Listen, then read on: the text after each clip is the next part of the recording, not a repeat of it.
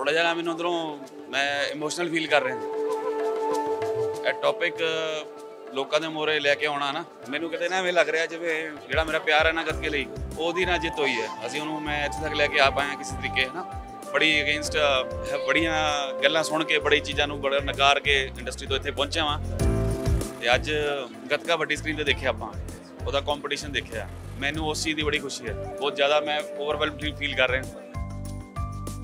ਉਹ ਕਿੰਨਾ ਕਿ ਡਿਫਿਕਲਟ ਹੁੰਦਾ ਹੈ ਆਪਣੇ ਆਪ ਨੂੰ ਜਸਟੀਫਾਈ ਕਰਨਾ। ਜਦੋਂ ਤੁਸੀਂ ਸਿਰਫ ਆਪਣੇ ਕੰਮ ਤੇ ਧਿਆਨ ਦੇਣਾ ਚਾਹੁੰਦੇ ਹੋ, ਲੇਕਿਨ ਤੁਹਾਨੂੰ ਡਾਇਵਰਟ ਕਰਨ ਲਈ ਬਹੁਤ ਸਾਰੀਆਂ ਚੀਜ਼ਾਂ ਹੁੰਦੀਆਂ।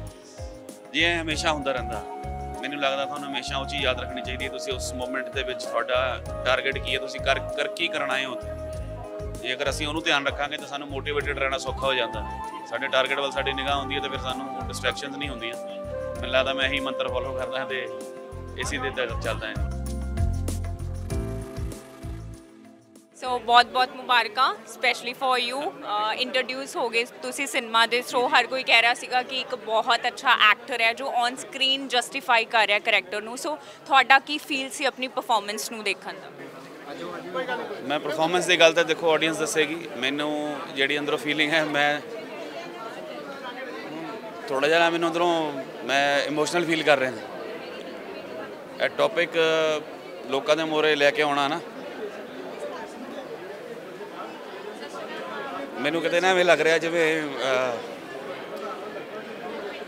ਜਿਹੜਾ ਮੇਰਾ ਪਿਆਰ ਹੈ ਨਾ ਗੱਤਕੇ ਲਈ, ਉਹਦੀ ਨਾ ਜਿੱਤ ਹੋਈ ਹੈ। ਅਸੀਂ ਉਹਨੂੰ ਮੈਂ ਇੱਥੇ ਤੱਕ ਲੈ ਕੇ ਆ ਪਾਇਆ ਕਿਸੇ ਤਰੀਕੇ ਹੈ ਨਾ ਬੜੀ ਅਗੇਂਸਟ ਬੜੀਆਂ ਗੱਲਾਂ ਸੁਣ ਕੇ, ਬੜੀ ਚੀਜ਼ਾਂ ਨੂੰ ਬੜਾ ਨਕਾਰ ਕੇ ਇੰਡਸਟਰੀ ਤੋਂ ਇੱਥੇ ਪਹੁੰਚਿਆ ਵਾਂ। ਤੇ ਅੱਜ ਗੱਤਕਾ ਵੱਡੀ ਸਕਰੀਨ ਤੇ ਦੇਖਿਆ ਆਪਾਂ, ਉਹਦਾ ਕੰਪੀਟੀਸ਼ਨ ਦੇਖਿਆ। ਮੈਨੂੰ ਉਸ ਚੀਜ਼ ਦੀ ਬੜੀ ਖੁਸ਼ੀ ਹੈ। ਬਹੁਤ ਜ਼ਿਆਦਾ ਮੈਂ ਓਵਰਵੈਲਮ ਫੀਲ ਕਰ ਰਿਹਾ। ਸਪੈਸ਼ਲੀ ਅਗਰ ਮੈਂ ਤੁਹਾਨੂੰ ਦੱਸਾਂ ਨਾ, ਜਦੋਂ ਮੈਂ ਤੁਹਾਨੂੰ ਸਾਬਤ ਸੂਰਤ ਦੇਖਦੀ ਆ ਫਿਲਮ ਦੇ ਕਿਰਦਾਰਾਂ ਦੇ ਵਿੱਚ ਉਹ ਬਹੁਤ ਜ਼ਿਆਦਾ ਪਿਆਰਾ ਲੱਗਦਾ ਸ਼ਾਇਦ ਉਹ ਤੁਹਾਡੀ ਪਰਸਨੈਲਿਟੀ ਨੂੰ ਸੂਟ ਕਰਦਾ ਹੈ।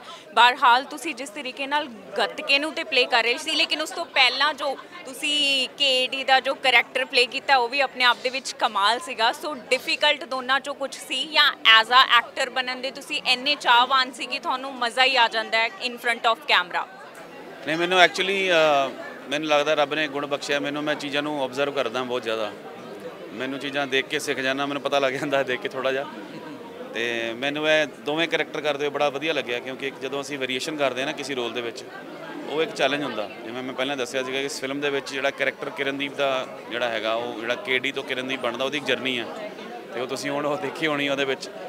ਤੇ ਉਹ ਇੱਕ ਚੈਲੰਜ ਸੀਗਾ ਮੇਰੇ ਲਈ, ਜਿਹਨੂੰ ਮੈਂ ਬਣਾਇਆ। ਇਸ ਸਟੋਰੀ ਨੂੰ ਲੈ ਕੇ ਆਉਣਾ ਇੱਕ ਚੈਲੰਜ ਸੀਗਾ ਉਹਨੂੰ ਆਪਣੇ ਲਈ ਚੈਲੰਜ ਬਣਾਇਆ ਤੇ ਮਹਾਰਾਜ ਦੀ ਕਿਰਪਾ ਨਾਲ ਇੱਥੇ ਤੱਕ ਪਹੁੰਚ ਗਏ ਹਾਂ ਕਿ ਸਿਨੇਮਾ ਘਰਾਂ ਦੇ ਵਿੱਚ ਫਿਲਮ ਲੱਗ ਗਈ ਹੈ ਗੱਤਕੇ ਦੀ ਫਿਲਮ ਲੱਗ ਗਈ ਹੈ ਸਿੱਖ ਮਾਰਸ਼ਲ ਆਰਟਸ ਅਸੀਂ ਹੁਣ ਵੱਡੀ ਪਰਦੇ ਤੇ ਦੇਖ ਰਹੇ ਹਾਂ। ਕਿਰਨਦੀਪ ਤੁਸੀਂ ਕਿਹਾ ਕਿ ਜੋ ਮੈਂ ਸੁਣਿਆ ਉਹ ਸ਼ਾਇਦ ਸਿਰਫ ਮੈਂ ਹੀ ਜਾਣਦਾ ਵਾਕਿਆ ਹੀ ਉਹ ਸਿਰਫ ਤੁਹਾਨੂੰ ਹੀ ਪਤਾ ਹੋਏਗਾ ਲੇਕਿਨ ਉਹ ਕਿੰਨਾ ਕਿ ਡਿਫਿਕਲਟ ਹੁੰਦਾ ਹੈ ਆਪਣੇ ਆਪ ਨੂੰ ਜਸਟੀਫਾਈ ਕਰਨਾ ਜਦੋਂ ਤੁਸੀਂ ਸਿਰਫ ਆਪਣੇ ਕੰਮ ਤੇ ਧਿਆਨ ਦੇਣਾ ਚਾਹੁੰਦੇ ਹੋ ਲੇਕਿਨ ਤੁਹਾਨੂੰ ਡਾਇਵਰਟ ਕਰਨ ਲਈ ਬਹੁਤ ਸਾਰੀਆਂ ਚੀਜ਼ਾਂ ਹੁੰਦੀਆਂ। ਜੀ ਇਹ ਹਮੇਸ਼ਾ ਹੁੰਦਾ ਰਹਿੰਦਾ। ਮੈਨੂੰ ਲੱਗਦਾ ਤੁਹਾਨੂੰ ਹਮੇਸ਼ਾ ਉਹ ਚੀਜ਼ ਯਾਦ ਰੱਖਣੀ ਚਾਹੀਦੀ ਹੈ, ਤੁਸੀਂ ਉਸ ਮੂਮੈਂਟ ਦੇ ਵਿੱਚ ਤੁਹਾਡਾ ਟਾਰਗੇਟ ਕੀ ਹੈ, ਤੁਸੀਂ ਕਰ ਕਰ ਕੀ ਕਰਨਾ ਹੈ ਉੱਥੇ? ਜੇਕਰ ਅਸੀਂ ਉਹਨੂੰ ਧਿਆਨ ਰੱਖਾਂਗੇ ਤਾਂ ਸਾਨੂੰ ਮੋਟੀਵੇਟਿਡ ਰਹਿਣਾ ਸੌਖਾ ਹੋ ਜਾਂਦਾ। ਸਾਡੇ ਟਾਰਗੇਟ ਵੱਲ ਸਾਡੀ ਨਿਗਾਹ ਹੁੰਦੀ ਹੈ ਤਾਂ ਫਿਰ ਸਾਨੂੰ ਡਿਸਟਰੈਕਸ਼ਨਸ ਨਹੀਂ ਹੁੰਦੀਆਂ। ਮੈਨੂੰ ਲੱਗਦਾ ਮੈਂ ਇਹੀ ਮੰਤਰ ਫੋਲੋ ਕਰਦਾ ਹਾਂ ਤੇ ਇਸੇ ਦੇ ਤਹਿਤ ਚੱਲਦਾ ਹਾਂ ਜੀ। ਨੂੰ ਬਹੁਤ ਪੇਸ਼ੈਂਸ ਦੇ ਨਾਲ ਦੇਖਿਆ ਜਾ ਰਿਹਾ ਸੀ, ਅੰਦਰ ਬੈਠ ਕੇ ਕੋਈ ਐਦਾਂ ਨਹੀਂ ਸੀਗਾ। ਉਹ ਬਹੁਤ ਵੱਡੀ ਚੀਜ਼ ਹੁੰਦੀ ਹੈ, ਅਜਿਹੀਆਂ ਫਿਲਮਾਂ ਪੇਸ਼ੈਂਸ ਮੰਗਦੀਆਂ। ਸੋ ਤੁਸੀਂ ਲੋਕਾਂ ਨੂੰ ਆਬਜ਼ਰਵ ਕਰ ਰਹੇ ਸੀ ਸਪੈਸ਼ਲੀ ਬੈਠ ਕੇ ਲੋਕਾਂ ਦੇ ਰਿਐਕਸ਼ਨਸ ਜਿਵੇਂ ਤੁਹਾਨੂੰ ਸੱਚੀ ਦੱਸਾਂ ਨਾ ਜੀ, ਜਦੋਂ ਦੀ ਅਸੀਂ ਇਹ ਫਿਲਮ ਬਣਾਈ ਆ, ਇਹਦੇ ਕਈ ਵਾਰੀ ਐਡੀਟਿੰਗ ਤੇ ਮੈਂ ਬੈਠਾ ਹਾਂ, ਬੜੀ ਵਾਰ ਬੈਠਾ ਮੇਰਾ ਹਮੇਸ਼ਾ ਧਿਆਨ ਉਹੀ ਰਿਹਾ ਕਿ ਇਹ ਚ ਕਿਹੜੀ ਕਮੀ ਹੈ, ਕੀ ਆ, ਕੀ ਗਲਤੀ ਰਹਿ ਗਈ, ਕੀ ਵਧੀਆ ਕਰ ਦਈਏ, ਕਿਦਾਂ ਇੰਪਰੂਵ ਕਰ ਦਈਏ। ਅੱਜ ਮੈਨੂੰ ਲੱਗਦਾ ਪਹਿਲੀ ਵਾਰੀ ਬੈਠ ਕੇ ਮੈਂ ਸਿਰਫ ਇੰਜੋਏ ਕੀਤਾ। ਮੈਂ ਐਜ਼ ਅ ਆਡੀਅנס ਇਹ ਫਿਲਮ ਦੇਖੀ ਹੈ ਮੈਂ, ਮੈਨੂੰ ਕੋਈ ਮੈਟਰ ਨਹੀਂ ਹੋ ਰਿਹਾ ਸੀਗਾ, ਕੋਈ ਦੇਖ ਰਿਹਾ, ਕੋਈ ਨਹੀਂ ਦੇਖ ਰਿਹਾ, ਜਾਂ ਕਿਦਾਂ ਕੀ ਆਡੀਅנס ਦਾ ਰਿਐਕਸ਼ਨ ਆ ਰਿਹਾ। ਆਈ ਵਾਸ ਫੀਲਿੰਗ ਕਿ ਮੈਂ, ਮੈਨੂੰ ਲੱਗਦਾ ਪਹਿਲੀ ਵਾਰੀ ਮੈਂ ਆਪਣੇ ਚਾਹਣ ਵਾਲੇ ਫਿਲਮ ਦੇਖੀ ਆ ਅੱਜ। ਤੇ ਮੇਰਾ ਧਿਆਨ ਉਹਦੇ ਵਿੱਚ ਹੀ ਸੀਗਾ।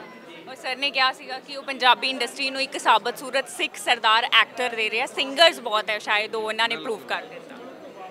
ਬਾਜੀ ਹੁਣ ਉਹ ਤੇ ਇਹ ਗੱਲ ਭੁਪਿੰਦਰ ਬਾਜੀ ਦੀ ਹੈ। ਵੱਡੇ ਨੇ ਸਾਡੇ ਉਹਨਾਂ ਨੇ ਜਿਹੜੀ ਗੱਲ ਕਹੀ ਹੈ। ਹੁਣ ਇਹ ਉਹੀ ਜਾਣਦੇ ਨੇ ਕਿ ਮੈਂ ਪੂਰੀ ਕਰ ਪਾਇਆ ਕਿ ਨਹੀਂ। ਬਟ ਕੋਸ਼ਿਸ਼ ਆਹੀ ਰਹੇਗੀ ਜੋ ਗੱਲਾਂ ਇਹਨਾਂ ਨੇ ਸ਼ਬਦ ਇਹਨਾਂ ਨੇ ਕਿਹਾ ਤੇ ਉਹਨੂੰ ਉਹਤੇ ਪੂਰੇ ਉਤਰੀਏ। ਬਹੁਤ ਵੱਡਾ ਦਿਨ ਹੈ ਤੁਹਾਡੇ ਲਈ। ਬਹੁਤ ਬਹੁਤ ਮੁਬਾਰਕਾਂ ਔਰ ਮੈਂ ਚਾਹੁੰਦੀ ਹਾਂ ਤੁਸੀਂ ਇਸ ਨੂੰ ਇੰਜੋਏ ਕਰੋ। Thank you very much ji thank you thank you